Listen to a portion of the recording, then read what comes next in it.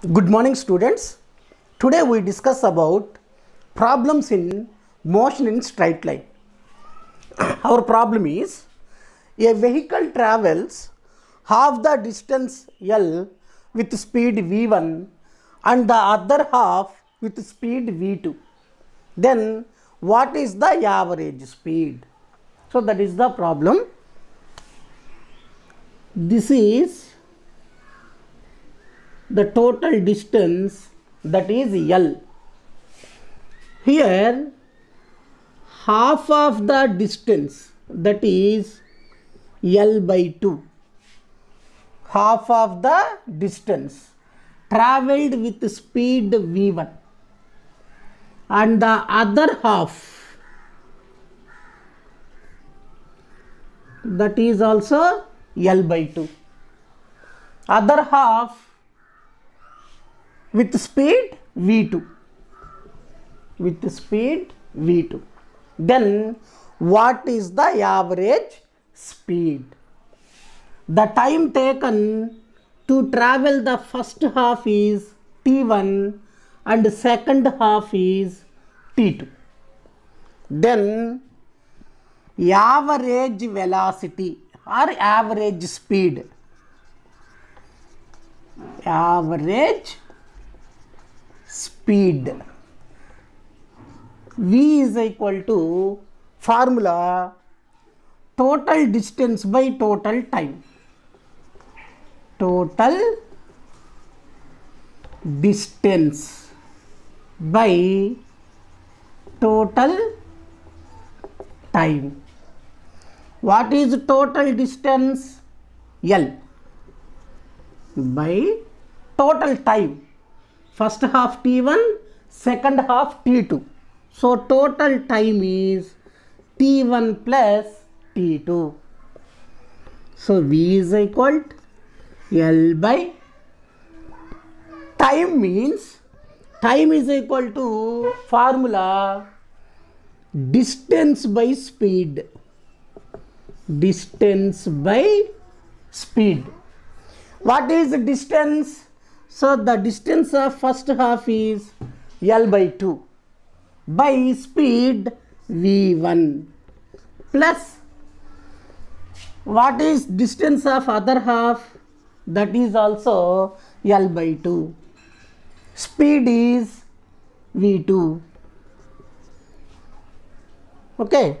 So v is equal to l by l by 2 is common so we take l by 2 as common. We get 1 by v1 plus 1 by v2 this l this l cancelled. This 2 goes to numerator. So v is equal to 2 by 1 by v1 plus 1 by v2 so v is equal to 2 by we take LCM so finally we get v2 plus v1 v2 plus v1 for our convenience can be written as v1 plus v2 by v1 into v2 here two by's are there. So finally we get v is equal to this v1 v2 goes to numerator. 2 v1 v2 by v1 plus v2 so this is the average speed. Next problem. A car travels the first third of a distance with a speed of 10 kmph. The second third at 20 kmph and the last third at 60 kmph what is its mean speed over the entire distance. Mean speed is nothing but average speed. First we take a distance like this. Let this distance is s. Now we divide this distance into three parts the first part second part third part.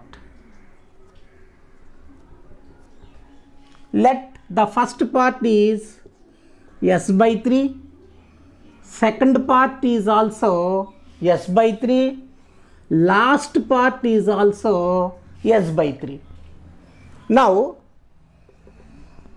the car travels first third of a distance with speed of 10 kmph. So to cover this first first third the speed is 10 kmph.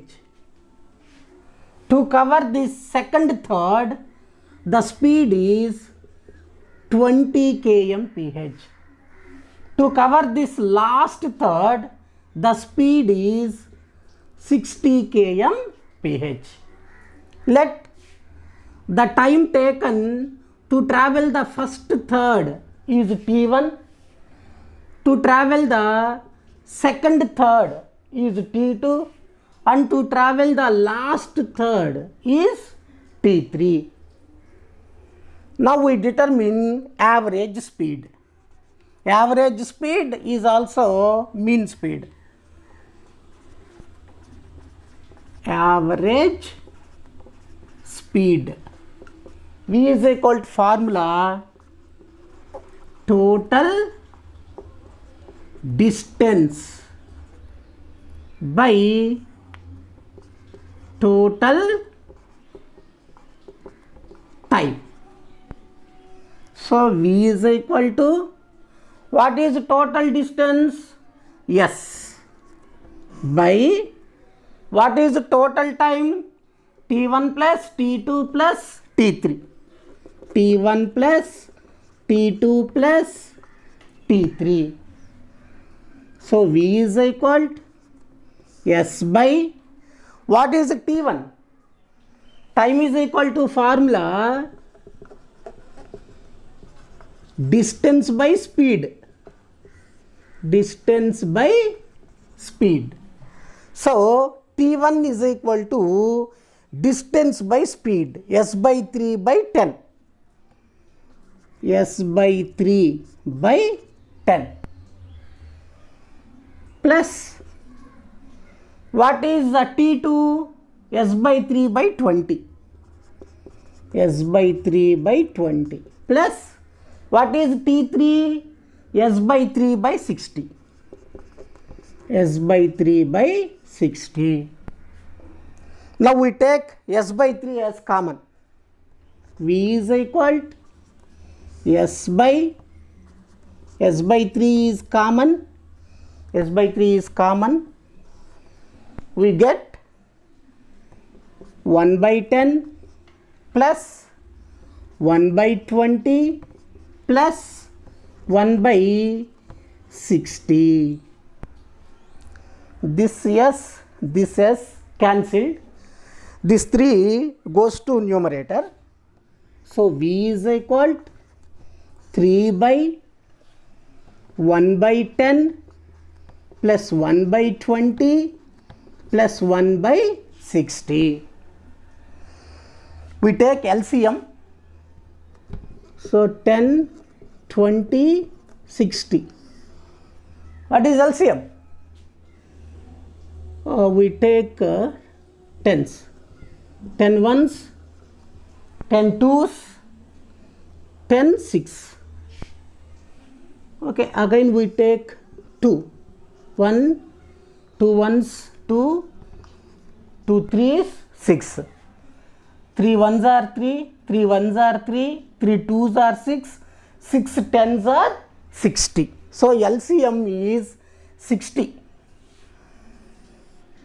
so V is equal to 3 by LCM 60 LCM 60 now we get 10 6 are 60 that 6 into 1 6 plus 23s are 60 that 3 into 1 3 plus 61s are 60 that 1 into 1 1 So we get V is equal to 3 by 6 plus 3 plus 1 means 10 by 60.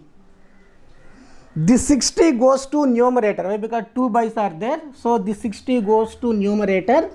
V is equal to 3 into 60 by 10. So V is equal to 3 6 are uh, 18 180 by 10 so 0 0 cancelled. Finally we get 18 kmph that is the final answer. Next problem. A man walks on a straight road from his home to a market 2.5 kilometer away with a speed of 5 km per hour. Finding the market closed, he instantly turns and walks back home with a speed of 7.5 km per hour. What is the magnitude of average velocity and average speed of the man over the time interval 0 to 50 minutes?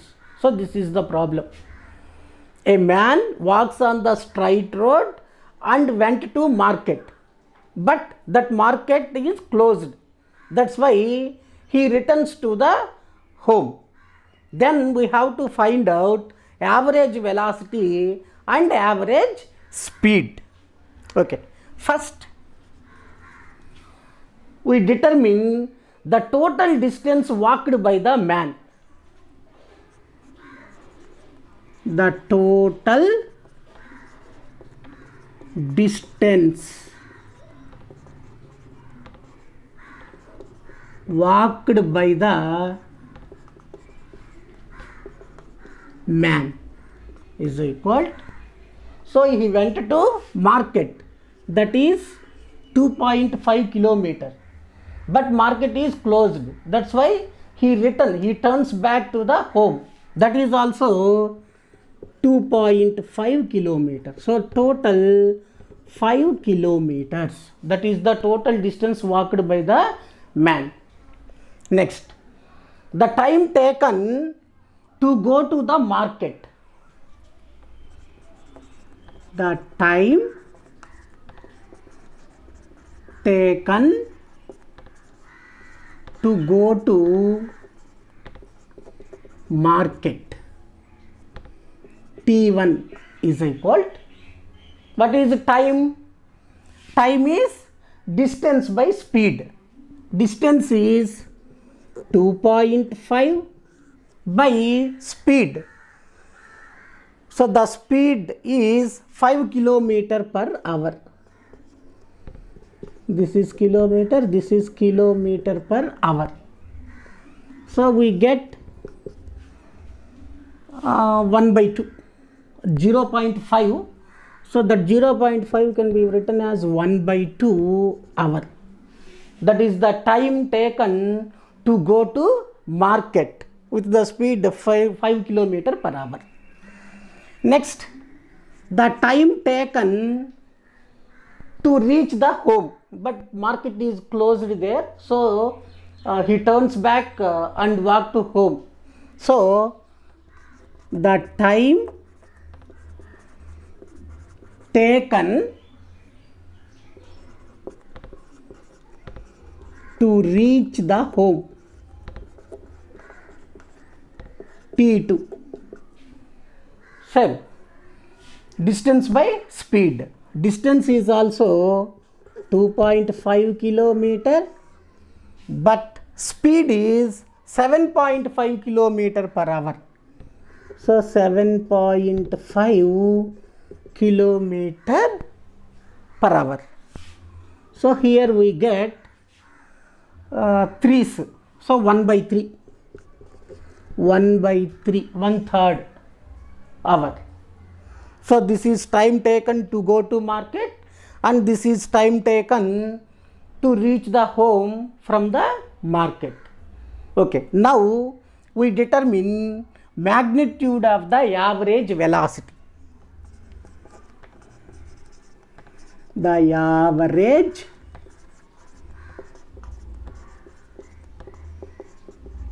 velocity velocity formula displacement by time displacement by time so displacement is always zero why because he go to market but market is closed. That's why he turns back and returns to home.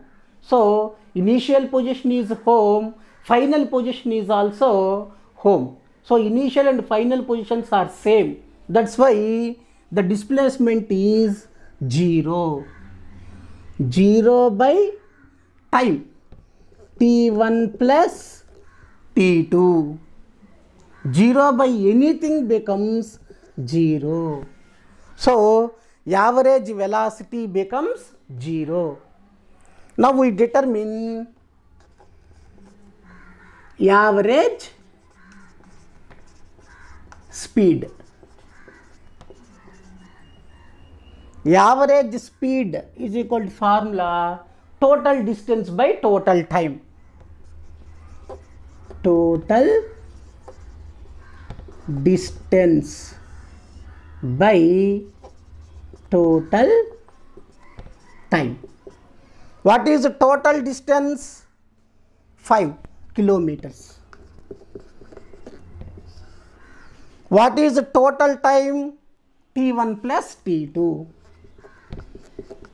t1 plus t2 so that is equal 5 kilometer by what is t1 1 by 2 what is t2 1 by 3 hmm.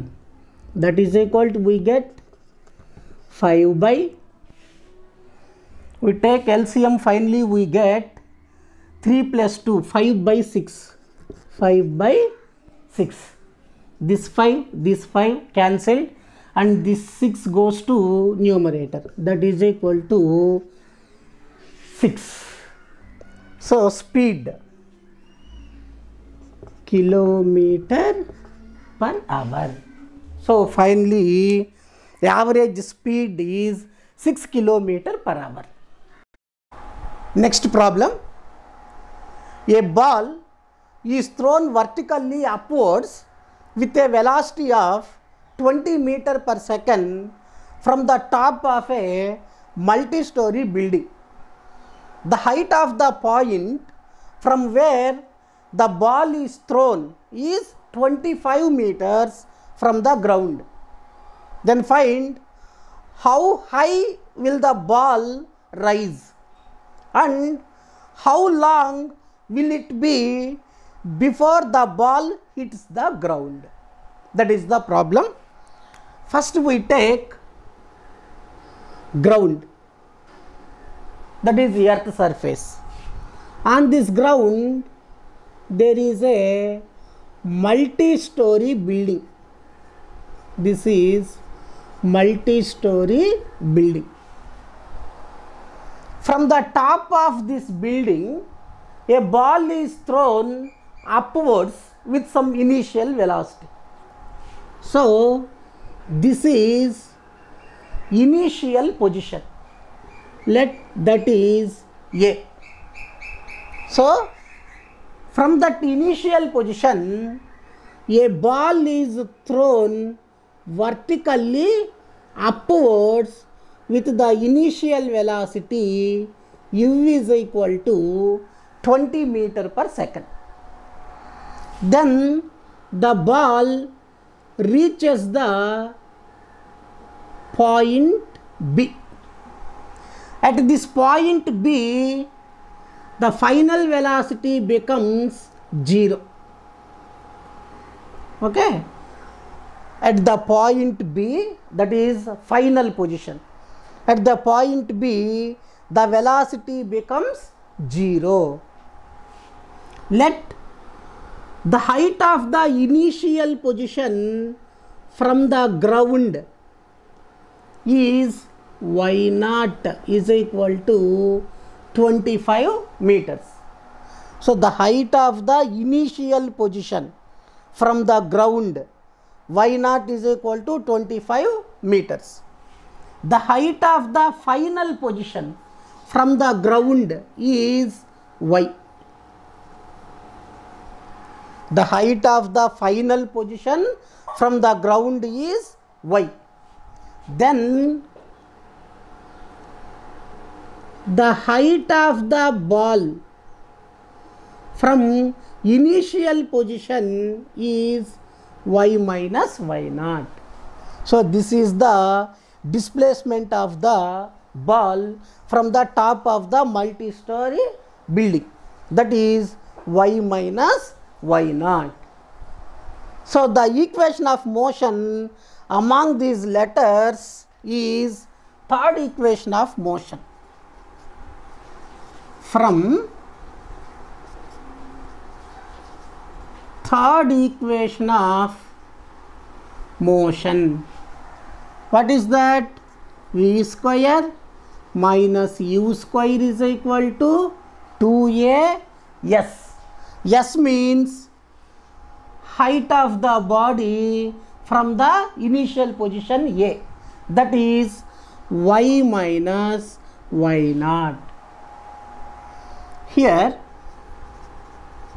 v final velocity becomes 0 u initial velocity is 20 meter per second.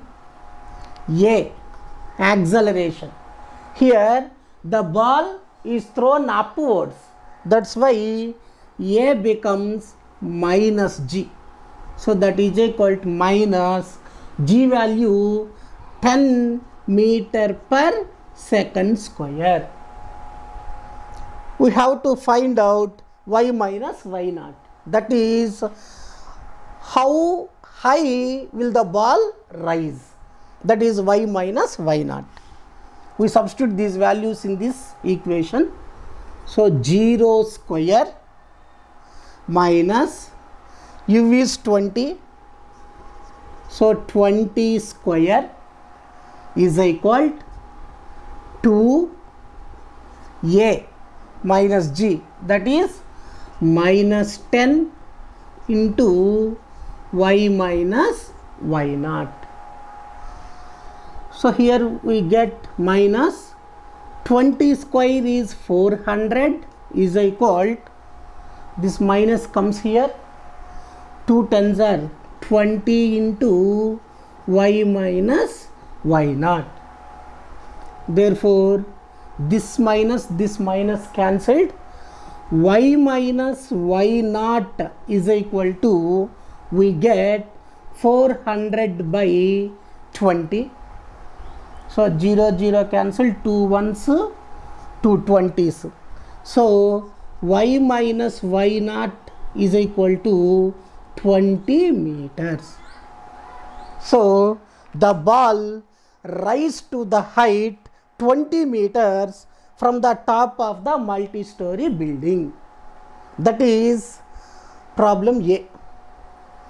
Now we solve B.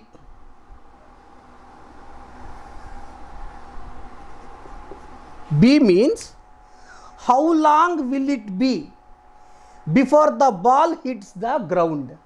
Okay, how much time it takes from initial position A till the ball reaches the ground. Okay. Here, the ball is thrown upwards from the initial point A, that is from the top of the multi-story building.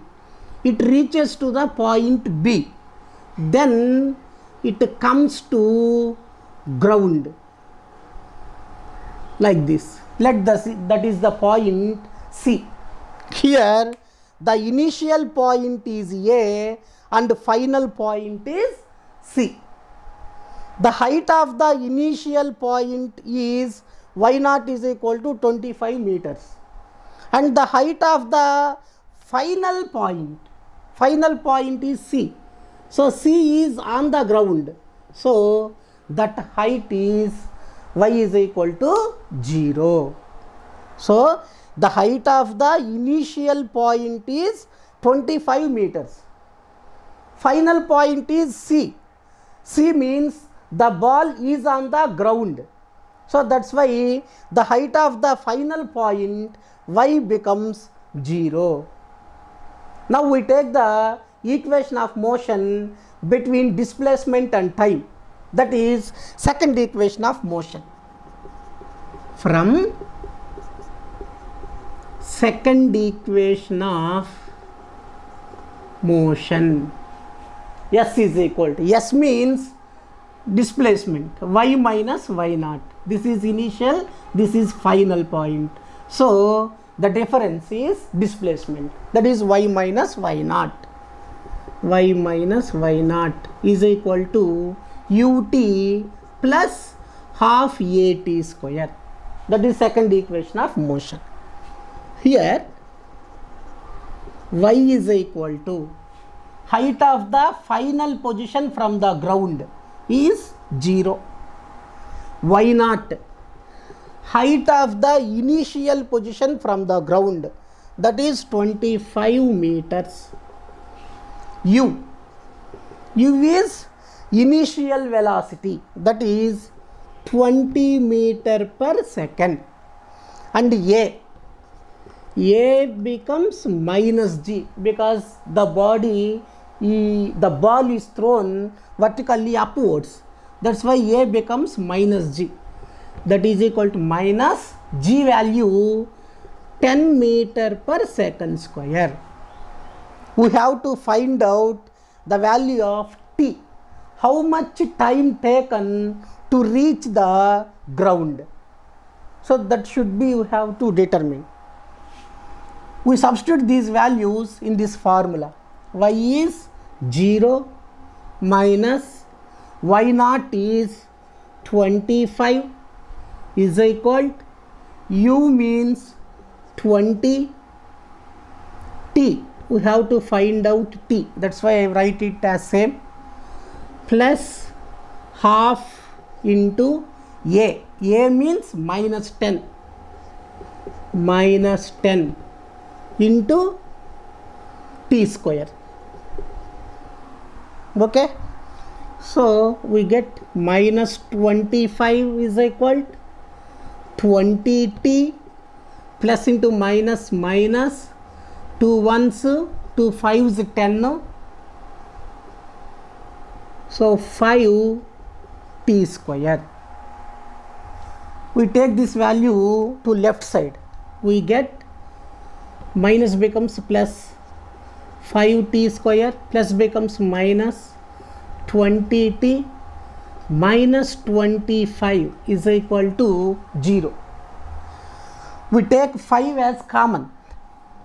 So we get 5 into t square minus 5 fours are 20 so 40 minus 5 fives are 25 is equal to 0 so we get t square minus 40 minus 5 is equal to 0. So this equation can be written as p square minus 5t plus t minus 5 is equal to 0. So we can write this equation in this equation. So we take t as common t into t minus 5 t minus 5 here we take plus 1 as common. We get t minus 5 is equal to 0 so finally we get t minus 5 is equal to 0 t plus 1 is equal to 0 so here we get t is equal to 5 here we get t is equal to minus 1 so time should not be in negative should not be in minus. So the answer is t is equal to 5 seconds. So the ball takes 5 seconds to reach the ground from the top of the multi-story building.